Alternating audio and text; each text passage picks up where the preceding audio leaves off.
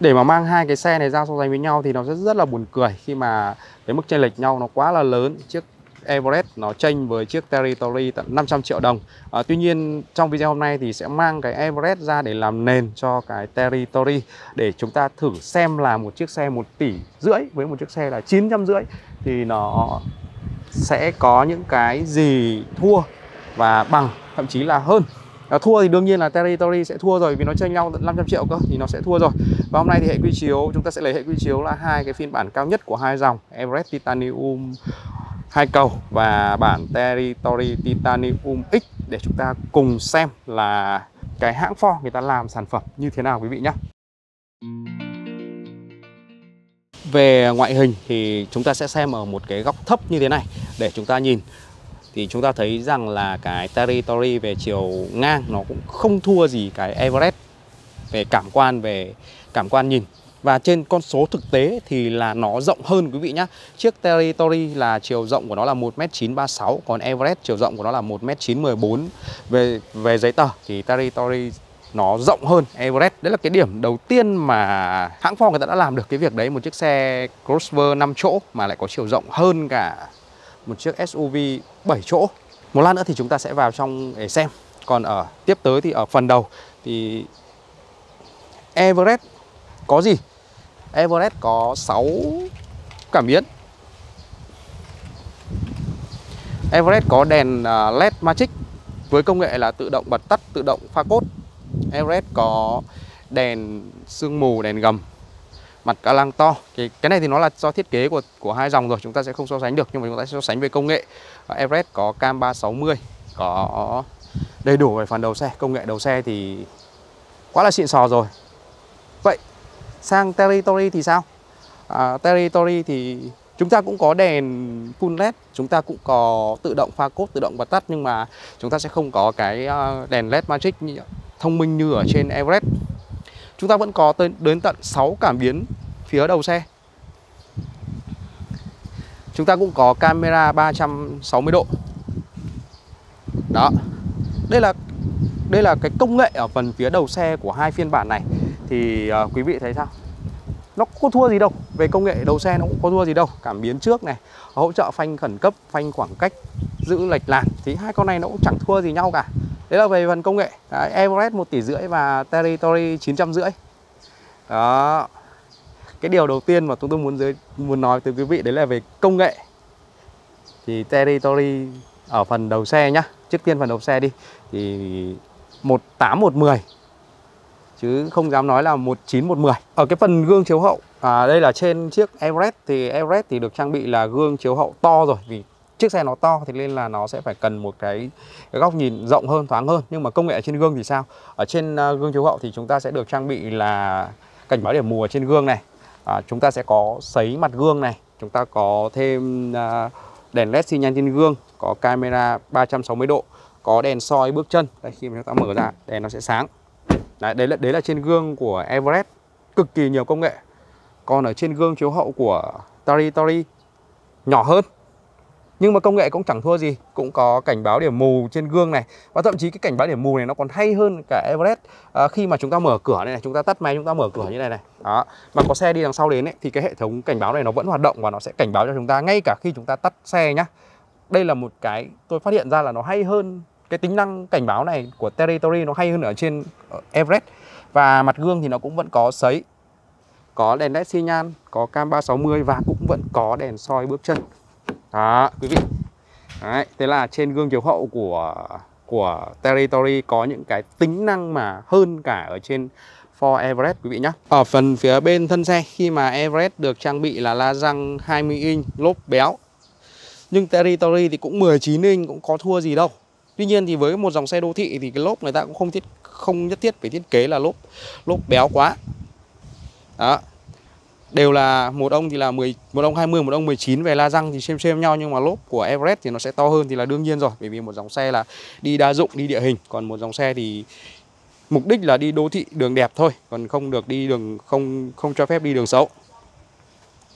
Thì cũng xem nhau đấy chứ cũng có thua gì đâu, đúng không? À, và trên cả hai phiên bản này thì đều được trang bị là cảm biến áp suất lốp nhá. Chúng ta sẽ đi tiếp đến phần đuôi xe và công nghệ của cả hai phiên bản này. Thì à, mời quý vị xem qua đuôi xe của Everest này Đuôi xe của Territory này. Thì đương nhiên rồi về cái cảm quan nhìn thì trên cái Everest nó có phần nào cứng cáp và mạnh mẽ hơn rất là nhiều so với Territory. À, Và chúng ta sẽ cùng đi xem công nghệ ở phần đằng sau xe nhé Ở trên Everest đằng đuôi xe cũng được trang bị 6 cảm biến. 6 cảm biến hỗ trợ ghép song song lùi trường tự động và cảm biến à, cảnh báo va chạm này. À, rồi à, chúng ta vẫn có đèn hậu là đèn dạng led và nó sẽ như thế này. Đó và camera lùi. À, cần gạt mưa và có gạt mưa hậu và có cả phun nước phun nước sau. Ở trên Everest thì trang bị cốp điện. Đá chân mở cốp và đương nhiên rồi thôi cái này không cái này chúng ta không so sánh bởi vì là con này là nó là ờ, uh, 7 chỗ nên là cái hàng ghế sau của nó hàng ghế thứ ba của nó khi mà gập lại thì nó nó sẽ là vô cùng là rộng rãi. Và và hàng ghế sau của nó thì là gập điện. À, chúng ta sẽ đi đi xem về công nghệ thôi. Đó.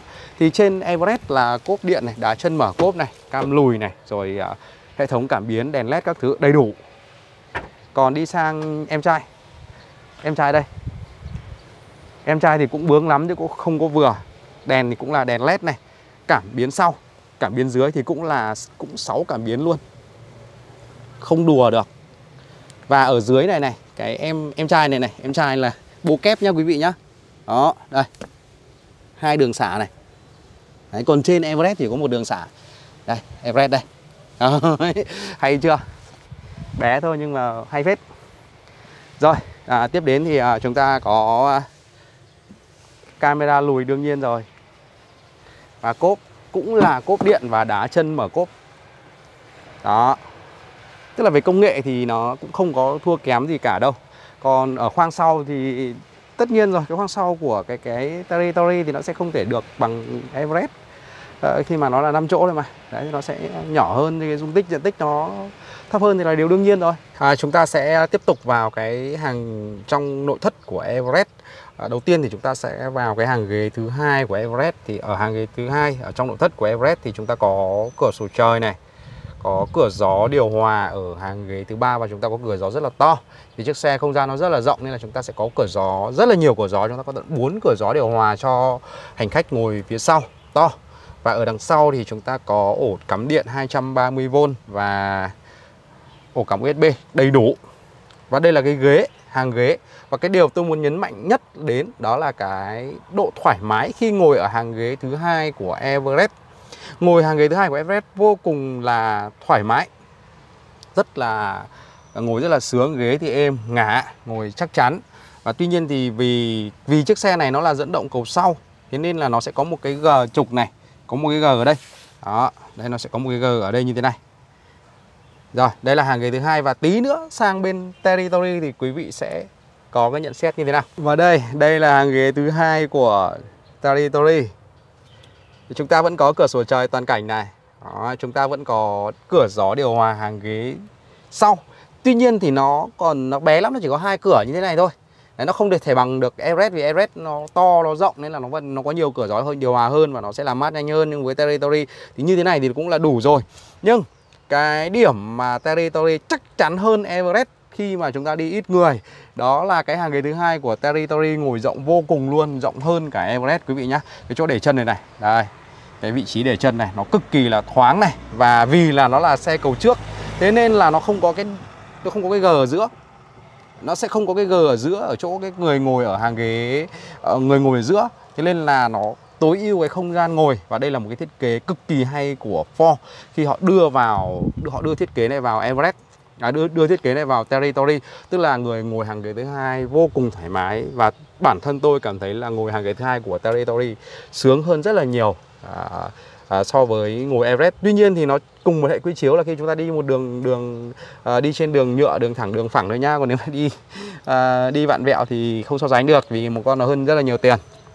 Đó đấy là cái hàng ghế thứ hai. Còn nội thất thì nội thất của Territory nó là nội thất à, cũng là toàn là da hết và à, nó có hai màu là màu xám xanh. Còn à, Everest thì là nội thất màu đen hết.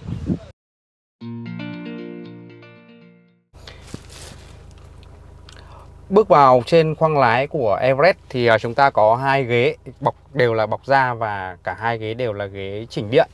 À, rồi phần à, nội thất ở phía trên. Ở phía trên thì chúng ta là nhựa mềm nhựa mềm. Và chúng ta có màn hình một cái màn hình dọc 12.3 inch có đầy đủ kết nối như là camera 360 độ à, rồi kết nối Apple CarPlay và Android Auto không dây. Rất là nhiều các cái tính năng ở trên màn hình này. Chúng ta có thêm for pass để à, kết nối với điện thoại điều khiển xe định vị xe đầy đủ từ xa ở trên cái màn hình này. À, tuy nhiên thì quý vị nhìn kỹ cái camera 360 độ tí nữa chúng ta sẽ có cái sự so sánh với cái Territory một màn dọc đó. Rồi sang bên phía bên này là vô lăng. Vô lăng trợ lực lái điện bọc da này. Các cái tính năng hỗ trợ lái xe an toàn hỗ trợ lái xe như là ga tự động giới hạn tốc độ phanh khẩn cấp phanh khoảng cách giữ lệch làn thì đều được trang bị ở trên cái Ford Everest cái phiên bản cao cấp nhất titanium này. Và đây là màn hình của uh, màn hình đồng hồ lái xe của Ford Everest rất là hiện đại. Đó là đồng hồ uh, đồng hồ điện tử và hiển thị đầy đủ thông tin. Không những hiển thị đầy đủ thông tin mà nó còn đẹp mắt nữa. Đó quý vị thấy ạ. Đấy, rất là nhiều các cái tính năng ở trên cái màn hình này. Rồi tiếp tới nữa thì à, chúng ta sẽ có một cái cần số. Cần số thì trên Everest thì được trang bị là hộp số tự động 10 cấp và cần số điện tử. Thì đây là chúng ta có cần số điện tử và có phanh tay điện tử Auto hold à, à, Các cái tính năng như là hỗ trợ ghép song song lùi trường tự động à, Tính năng à, à, tính năng off và đây, đây là gài cầu vì chiếc xe này là chiếc xe hai cầu. Thế nên là chúng ta sẽ có là chạy hai cầu hai một cầu hai cầu chậm và hai cầu nhanh và hai cầu chậm. Ngoài ra chúng ta có núm xoay điều khiển 6 chế độ lái. Vì đây là một chiếc xe địa hình cho nên là nó sẽ cung cấp cho chúng ta rất là đầy đủ các cái tính năng để chúng ta di chuyển địa hình đi off road ngoài ra thì đồ chơi thì chúng ta cũng có thêm là sạc không dây. Đó thì đây là toàn bộ nhanh các cái thiết kế và các cái tính năng mà ở trên Ford Everest được trang bị Đấy, quý vị có thể trông thấy là thứ nhất là về ngoại hình nhìn này, nhìn này, rồi công nghệ này. Đây là em trai, em trai Territory thì uh, Territory cũng được trang bị là ghế nhưng mà tuy nhiên thì uh, chỉ được trang bị một ghế lái chỉnh điện thôi còn ghế phụ là chỉnh cơ và cũng là đều là bọc da. Tuy nhiên trên phiên bản X này ở phần ghế lái nó lại xịn hơn cả Everest khi mà nó được trang bị là hệ thống làm mát ghế. Trên Everest thì không có quý vị nhá. Rồi tiếp đến à, khi mà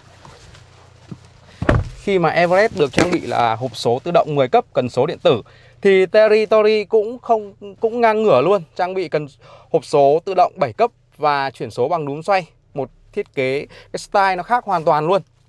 Style thiết kế khác khác hoàn toàn, núm xoay hiện đại. À, chúng tôi không đánh giá là hơn hay kém mà chúng tôi đánh giá đây nó là một cái hiện đại. Và ngoài ra thì trên cái bảng điều khiển của nó thì cũng đầy đủ hết như phanh tay điện tử này auto hold này hỗ trợ ghép song song và lùi trường tự động đầy đủ. À, tuy nhiên thì trên cái territory này cái tính năng ghép song song và lùi trường tự động nó là 100% quý vị không cần phải tác động gì đến xe.